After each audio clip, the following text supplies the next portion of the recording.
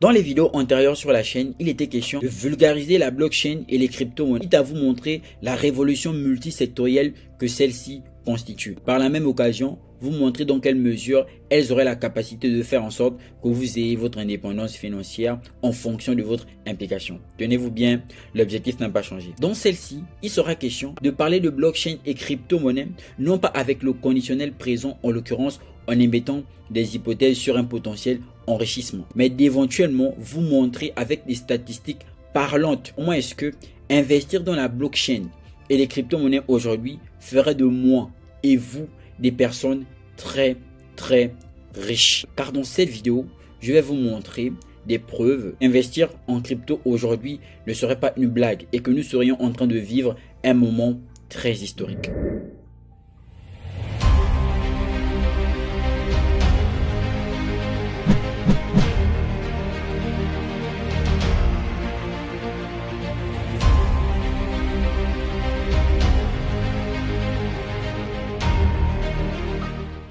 Bonjour à toutes et à tous, j'espère que vous allez bien. Bienvenue à toi sur Willis Crypto si tu es nouveau. Ici, je te parle de crypto-monnaie et de révolutions qu'apporte la blockchain dans le secteur économique. Si cette thématique t'intéresse, je t'invite à bien vouloir t'abonner en activant cette cloche de notification pour ne rater aucune prochaine vidéo. Tu vas approfondir tes connaissances en crypto-monnaie. Je te propose la formation Willis Crypto qui va t'accompagner. Il te suffit de cliquer sur le lien en bas de description pour avoir toutes les modalités d'acquisition. Tu peux cliquer sur le lien en bas de description pour rejoindre le groupe public Telegram dans lequel on fait un travail assez éducatif. Pour mener à bien cette analyse, on va premièrement aller sur Infinite Market Cap, un site ayant la faculté de regrouper plus de 16 000 actifs classés en fonction de leur capitalisation boursière. On aura la possibilité de connaître l'évolution d'un actif dans le temps, si bien sur le court que sur le long terme. Quand je parle d'actifs, fort est de constater qu'il s'agit ici des métaux, des entreprises, etc. Premièrement, l'or occupe la première place avec une capitalisation boursière de 16 000 milliards de dollars. Ensuite, l'entreprise Apple avec 2 000 milliards de dollars. Microsoft avec 2 000 milliards de dollars aussi. Arabie Saoudite, 1000 milliards de dollars.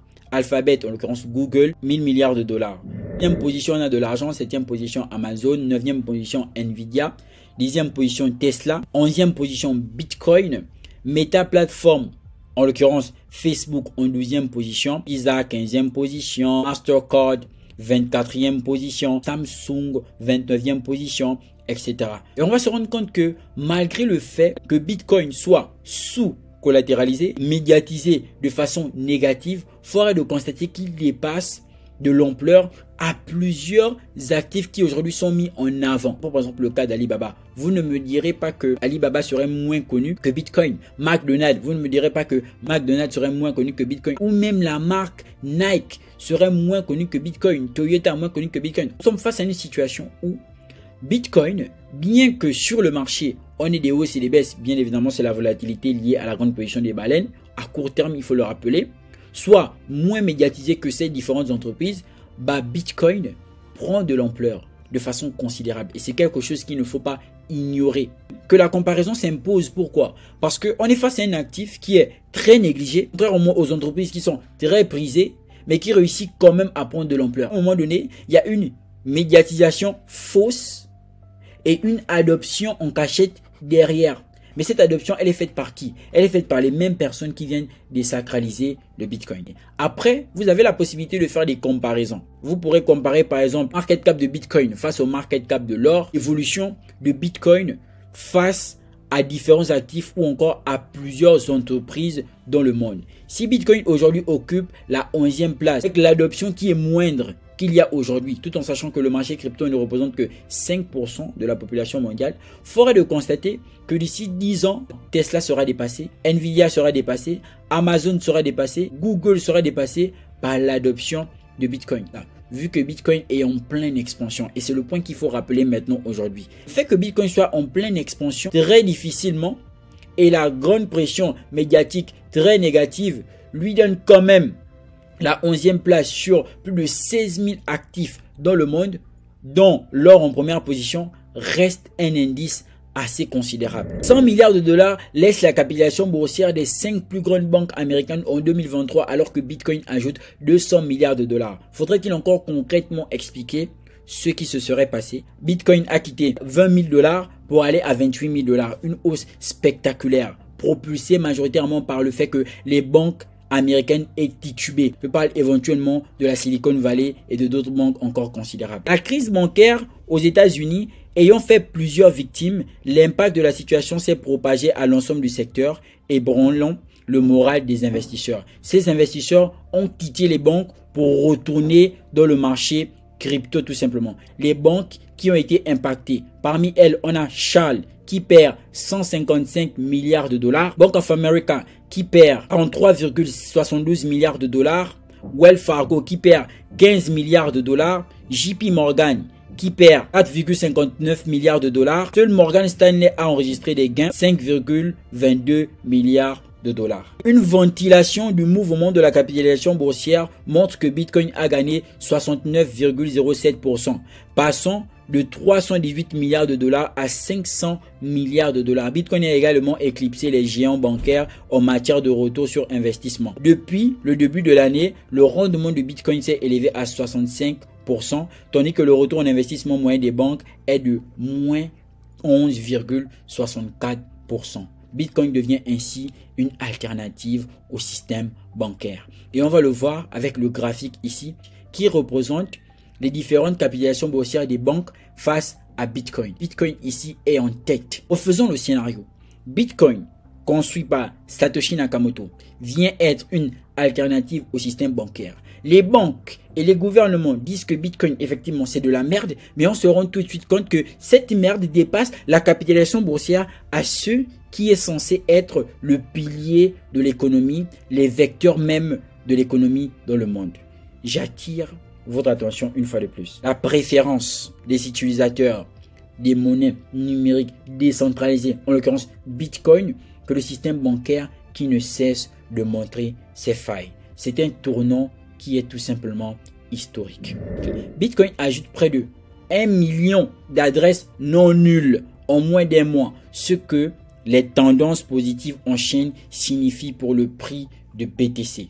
On est Bitcoin qui fait du bruit. Les gens vont venir adopter du Bitcoin. Je ne parle pas d'adoption passagère, je parle d'adoption considérable. Vu que en moins d'un mois, le réseau Bitcoin a ajouté près de 1 million de portefeuilles qui détiennent un solde non nul. Selon les données présentées par Glassnode fin février, le nombre de portefeuilles non nuls sur le réseau est passé d'environ 44,2 millions. Vous pouvez avoir ici la croissance des adresses de Bitcoin non nulles. Elle est exponentielle. Elle est en train de croître. Et c'est ce genre de signe qui montre qu'on s'intéresse un peu plus. Ainsi, plus une monnaie est utilisée, plus elle devient utile. Et son utilité fait en sorte qu'elle gagne en confiance. Cette confiance engendre une prise de valeur bien que la prise de valeur de Bitcoin soit liée à plusieurs facteurs, notamment sa rareté par le principe de halving day de Bitcoin. Selon Michael Saylor, Bitcoin est le seul crypto actif pouvant être utilisé comme monnaie Franchement, c'est vraiment l'ironie du sort parce que plus on est en train de désacraliser quelque chose, on attire de l'attention vers la chose et lorsqu'on vient dans le cadre de pratique, on se rend compte que Bitcoin est en train de faciliter la vie à tous les utilisateurs. Ici, on a tout simplement la liste des personnes les plus riches en Bitcoin. Les gens ne font que s'y intéresser un peu plus chaque jour. Et ça, c'est une très bonne chose. Il est important que vous puissiez comprendre que le marché crypto est en pleine expansion.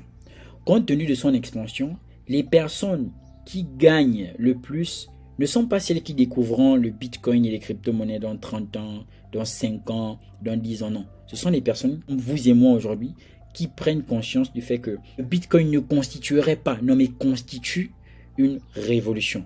Compte tenu du fait de ces statistiques, plus vous prendrez conscience du fait que nous sommes dans un tournant majeur, du fait que Bitcoin constitue une révolution, que dans chaque révolution, les premières personnes à y gagner sont des personnes qui se frottent directement à tout ce que la révolution engendre. C'est-à-dire qu'aujourd'hui, on a assisté à la chute de plusieurs géants entre FTX, Luna Classic, etc. On se frotte à ceci, on gagne en expérience. On devient des investisseurs affranchis et aguerris. Je vous assure que Warren Buffett n'est pas le meilleur investisseur uniquement parce qu'il sait quoi acheter. Non, c'est parce qu'il a une durée dans le marché et il connaît comment est-ce que le marché fonctionne. Et en fonction de cela, c'est aussi parce qu'il a été là lorsque la révolution de son temps a sonné. Vous êtes à la révolution qu'est Bitcoin et les crypto-monnaies. Ce ne sont pas des assertions, ce ne sont pas juste des affirmations gratuites. Gens qui prendront Bitcoin et les crypto-monnaies au sérieux en 2023 ne seront pas déçus dans les années à venir. Sauf disposition contraire divine, les personnes qui croient en Bitcoin aujourd'hui, aux crypto-monnaies par extension, ne pourront pas finir en étant pauvres. C'est impossible, tout simplement. On se retrouve très bientôt dans une nouvelle prochaine vidéo. N'oubliez surtout pas de faire les gestes qui feront en sorte que la chaîne puisse prendre de l'ampleur.